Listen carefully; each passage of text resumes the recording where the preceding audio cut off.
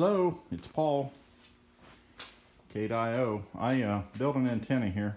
Thought you might be interested in it. Um, been talking to some people and they looking for maybe an antenna on a budget. Well, here you go.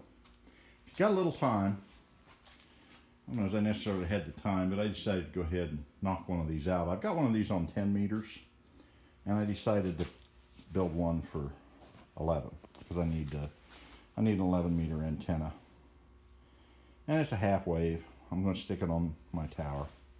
It ought to do okay. All right. Here's the premise.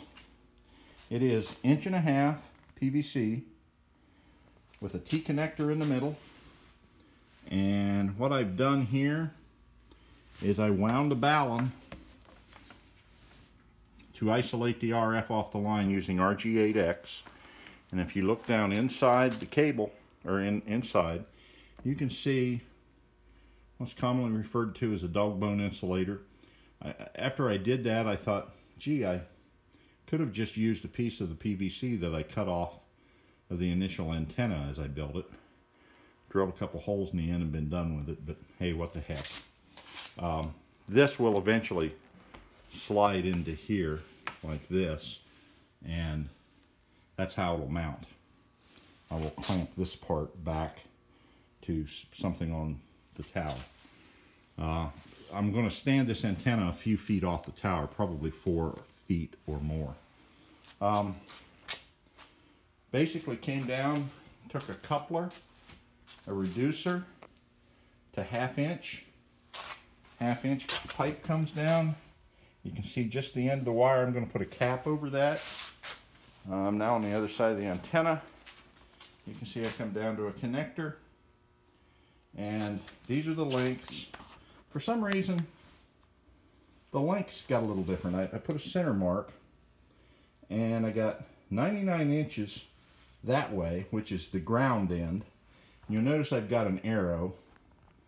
Theoretically, this antenna could mount in either direction. I'm going to mount it vertically. And this is the center conductor side of the connector, so I'm going to point that up. And again, a coupler. And again, here we go. Okay, you can see the wire just in the end.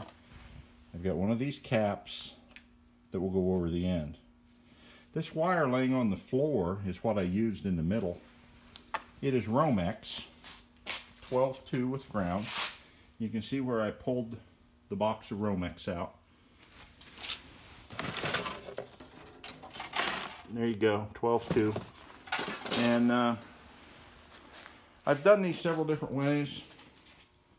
Um, this balun is 19 turns of RG8X. Uh, I measured it. It's 8.6 microhenries, which should give you about third, or I'm sorry, about uh, 13 or 1400 ohms at 27 megahertz. So that should effectively isolate the outside of the RF line.